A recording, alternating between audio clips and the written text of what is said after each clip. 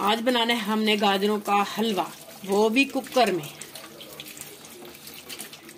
जल्दी, बहुत जल्दी बन जाने वाला ये हलवा और बहुत मज़े का बनता है। गाजरे हम धो लेंगे। गाजरे मैंने लिए एक किलो, दूध भी लेंगे एक किलो। इनको धो के फिर इनके छिलके उतार लेंगे, फिर आपको दिखाते हैं। गाजरे मैंने धो ली और ये मेरे हस्बैंड को मैंने कहा कि ये मुझे छील के दे। ये इनकी, ये भी काट रहे हैं और ऊपर से छिलका उतारने, बाकी इनको टुकड़े टुकड़े नहीं करने। अस्सलाम वालेकुम माय यूट्यूब फैमिली कैसे हैं आप सब लोग? मैं भी बिल्कुल ठीक, उम्मीद करती हूँ आप सब लोग भी बिल्कुल ठीक होंगे। और आज मैं बना रही हूँ गाजर का हलवा, वो भी कुकर में और जो बहुत जल्दी और आसानी से बन जाता है। अब भी मैं बना रही हूँ सालन।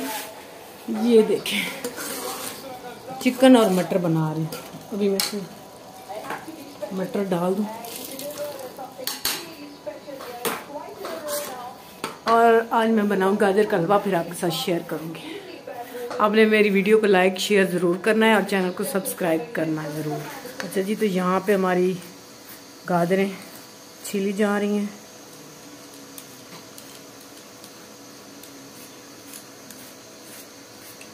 ये मैं बना रही हूँ कुकर में और सबसे पहले मैं डाल रही हूँ इसमें देसी घी का भर के ये बड़ा चम्मच। ठीक है? थोड़ा सा हमारा गर्म हो चुका है।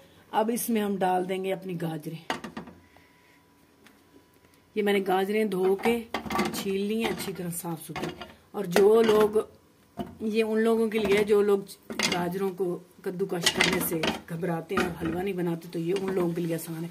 हमने कोई गाजरों को काटा वाटा कुछ भी नहीं ऐसे ऐसे डाल देंगे। ऑयल, घी और देसी घी और गाजरें और एक चुटकी नमक डाल देंगे इसमें बस।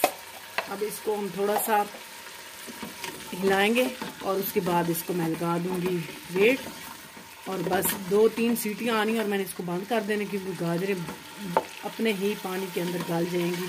बहुत ही जल्दी सॉफ्ट हो जाएँगी। फिर उसके बाद मैं आपको बताती हूँ। सारा ये मैंने इसका वेट लगा दिया, बस दो तीन सीटियाँ आएँगी ना तो इसको मैं बंद कर दूँगी। और आग बिल्कुल मेरी स्लो है।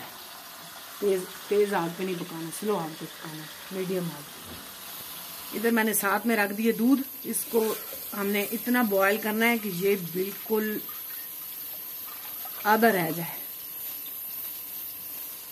ये फुल क्रीम दूध मैंने लिया है। एक किलो गाजरें और एक किलो दूध।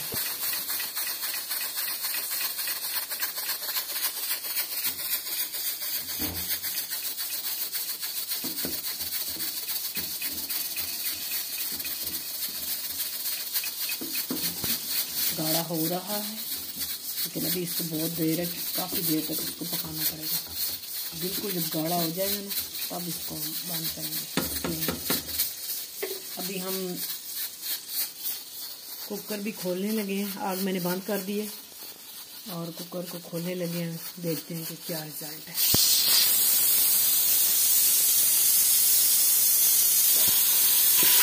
अब ये बिल्कुल गल चुके हैं इसको मैं मैश कर लूँगी और इसके अंदर मैंने एक बड़ी चम्मच दोबारा से घी की डालनी है देसी घी की जिससे इसको मैं अच्छी तरह भूनूँगी और फिर मैं आपको आगे दिखाती हूँ। ये फिर मैंने एक बड़ा चम्मच डाला है देसी घी का इस, इसको मैं भूनूँगी अच्छी तरह और सारी गाजरों को मैश कर लूँगी और उसके बाद फिर मैं आपको दिखाती हूँ। अब ये बिल्कुल अच्छी तरह मैश हो चुकी है अब इसको मैं भूनूँगी और उसके बाद ये अब इसको मैं अच्छी तरह भून लूँगी।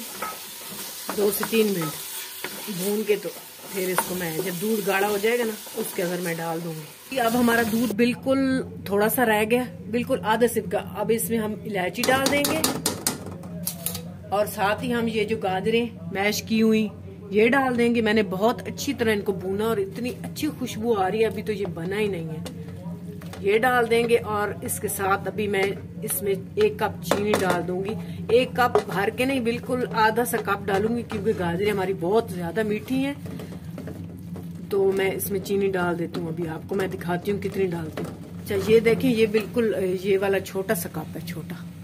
ये ये मैं डाल रही इसमें से मैं थोड़ी सी बचा लूँगी ये।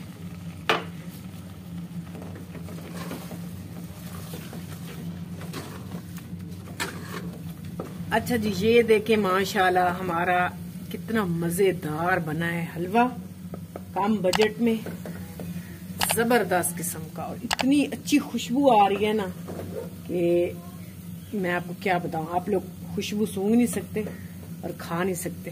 इतना मज़े का हमारा बना है। तो अब बस मैं आपको इसकी फाइनल लुक दिखा ये देखें जी, मेरा खूबसूरत सा, प्यारा सा गाजर का हलवा तैयार है। सर्दियों की सौगात, क्योंकि सर्दियाँ बहुत ज़्यादा हो चुकी है तो सर्दियों में ये बहुत अच्छा लगता है। और कम बजट है और बहुत जल्दी बनता है। और आपने मेरी वीडियो को ज़रूर लाइक शेयर करना है, मेरे चैनल को सब्सक्राइब करना है।